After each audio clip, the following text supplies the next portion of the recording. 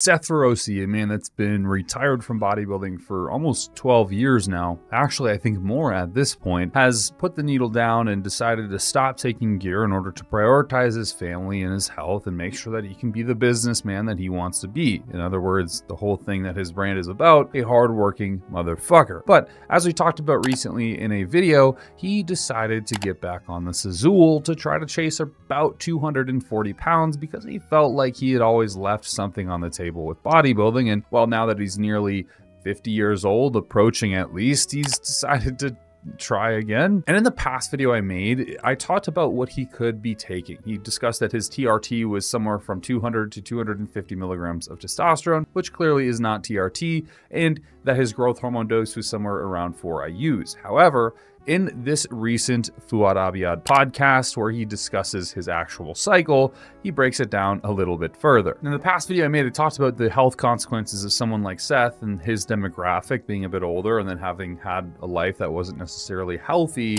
in his earlier years getting back on cycle in a situation where he had to come off due to health reasons, not being brilliant. I brought up scientific research. I talked about exactly everything that would be sort of deleterious to be doing at his age with lots of gear. And in that video, I also discussed the potential for addictive tendencies being developed when taking anabolic androgenic steroids. Most specifically, I talked about how bodybuilders can become very addicted to the steroids that they're using. And once they come off, it's usually only for a short amount of time until they realize that that compound was something that made them feel very good and happy. And so nonetheless, they end up getting back on, even if it was deleterious for the health or clearly is going to risk their life. The juice for them is worth the squeeze, the squeeze being their metaphorical life and the juice being gains. They think that it's just kind of worth it to throw one out the window and bring the other into uh, existence muscle tissue into existence. But if you listen to Seth on this latest podcast for like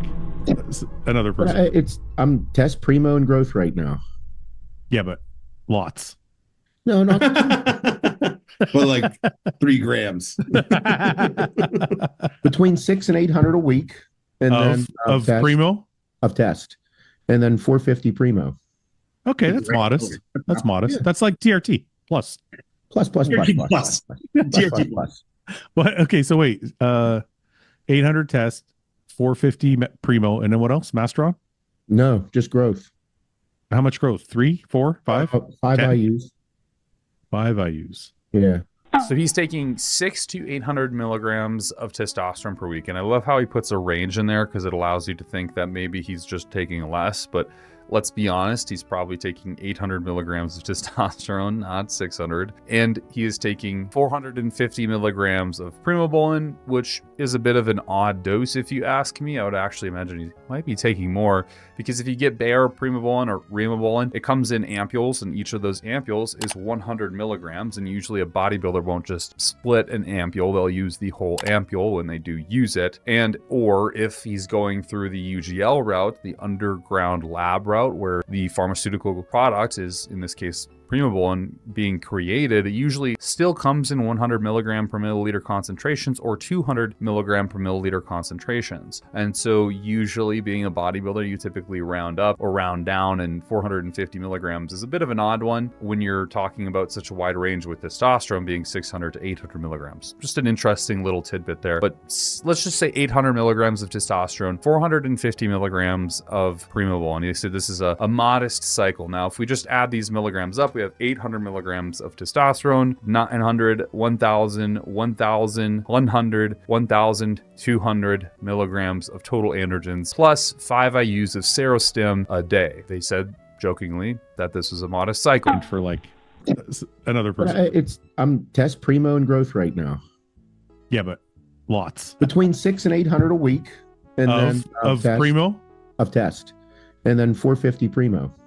Okay, that's modest. That's modest. Yeah. That's like TRT. I'm here to tell you that this is not a modest cycle for anybody. If you're a beginner, especially, this is quite an exaggerative cycle. Yes, people need to get to these doses to get a physique that they want, but usually when you're starting out or even on your third or fourth cycle, this kind of dose isn't necessarily needed to achieve results. And I think it might be confusing because a lot of people might see Seth and see how he looks and then contemplate that that might be what they need to take to look like Seth. Well, for one, Seth has taken much, much, much more in his lifetime. And For two, that muscle tissue he has built and the physique he has is developed during those times he was taking a lot more. And and for three, you won't look like Seth ever, ever probably in your life. He's a very specific genetic phenom, and it would be quite hard to acquire his physique in most situations. But it is completely deleterious to his health to be doing all of this. Now, I'm not trying to talk shit about Seth. I love the man. I actually love his motto. I love what he works towards. I love his kind of intuition. And I talked about in the last video as well about his sort of ability to think outside of the box.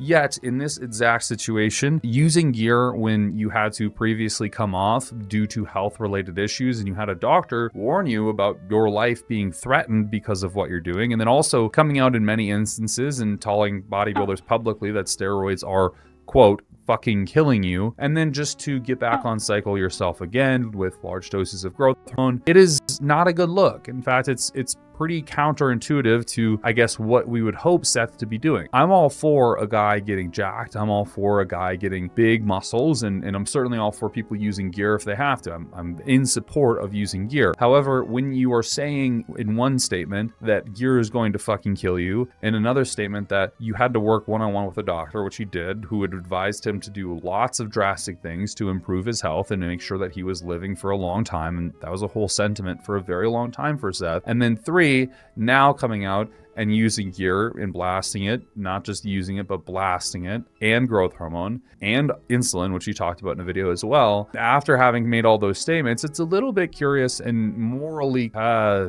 uncalculated. in a perfect world, we would have a situation where somebody who comes off of gear stays off of gear, and they realize that the benefit of doing that is much beyond their physique because obviously it's not going to be benefiting their physique, but it's more so for their health, it's for their longevity, it's for their livelihood. And I think any critical human being could really come to the conclusion that staying on steroids for the majority of your life, if not all of your life, is going to be consequentially awful. I mean, it, it, will knowingly ruin your cognitive function, ruin your circulatory function, and improve the chances of you dying, which isn't a great thing. And I don't know about you guys, but I enjoy Seth, and I'd prefer if he stayed on Earth for a couple more years. But at the end of the day, is a cycle going to kill you? No, it's not. It's going to take consecutive months years in horrible cycles to actually do some deleterious harm to such a degree that's going to effectively kill you. One cycle won't be it. Two cycles, three cycles won't be it. But